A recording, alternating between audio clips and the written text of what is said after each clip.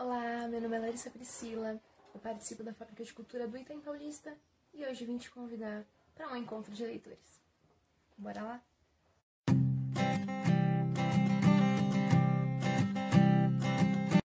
No encontro de hoje, eu trouxe para apresentar para vocês uma coleção da editora Mostarda, uma coleção muito bonita que chegou recentemente no nosso acervo da biblioteca das Fábricas de Cultura e o nome da coleção é Black Power. Vou mostrar para vocês.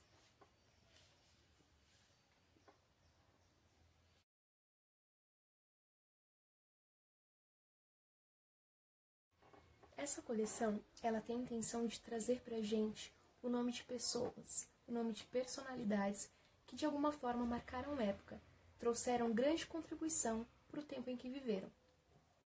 Desta forma, tem aqui em cada um desses livrinhos uma breve biografia dessas pessoas. E além da biografia, tem também ilustrações belíssimas que deixam esses livros ainda mais interessantes. Os livros que eu tenho aqui trazem o nome de pessoas que com certeza vocês já ouviram falar.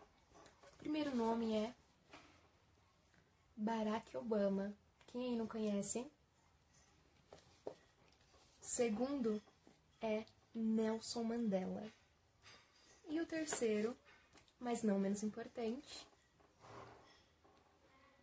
Martin Luther King. Bora conhecer um pouquinho desses livros?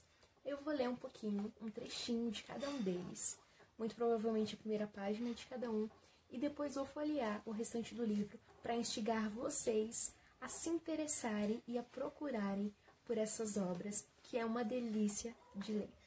Então, assim que possível, corram na biblioteca, consulte o acervo das fábricas de cultura e leiam e se deliciem com esses livros. Agora, bora conhecer um pouquinho mais deles?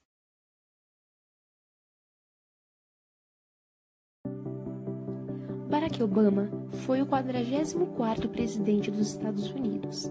Negro, inteligente, simpático e ótimo com palavras, Obama gravou o seu primeiro nome na história como o presidente da esperança e da mudança. Sua trajetória é um exemplo de dedicação e persistência. Afinal, comandar uma potência como os Estados Unidos não é tarefa fácil para ninguém. Como ele mesmo disse, nós escolhemos a esperança em vez de medo. Nós vemos o futuro não como algo fora de controle, mas como algo que podemos moldar para melhor por meio de um esforço coletivo.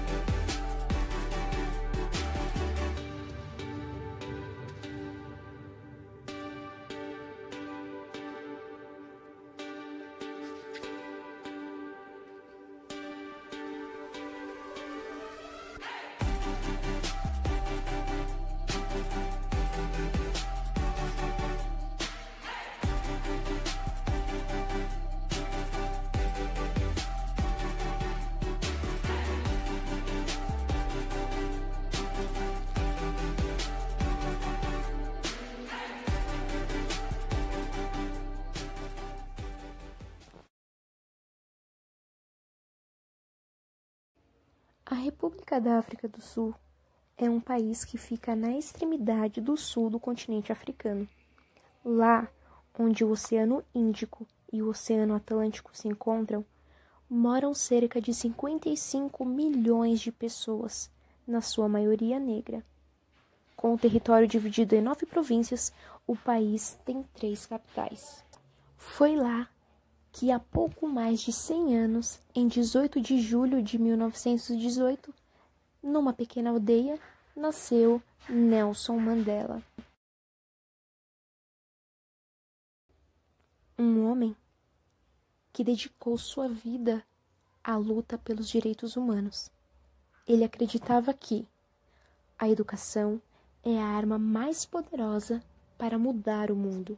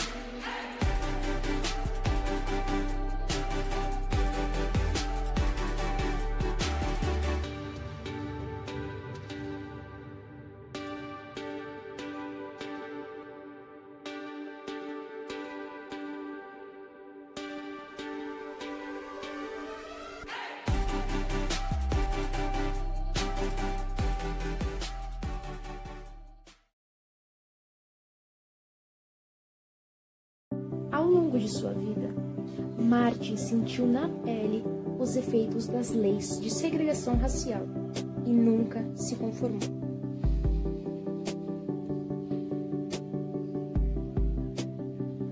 Basicamente, as leis exigiam que os lugares públicos, como escolas, ônibus, trens e etc., possuíssem locais separados para negros e brancos.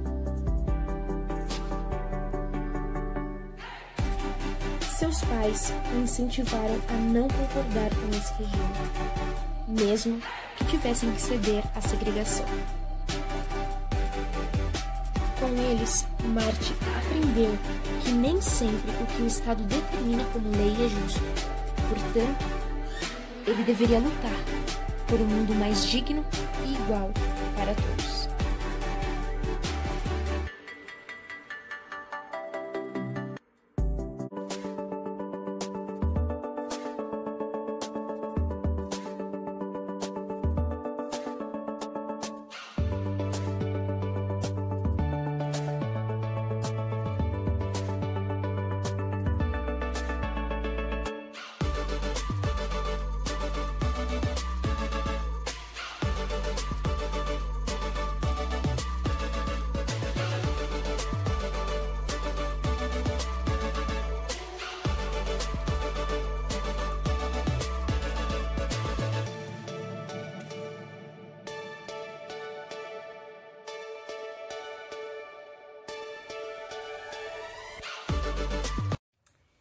Agradeço demais a cada um de vocês que acompanharam esse vídeo até aqui.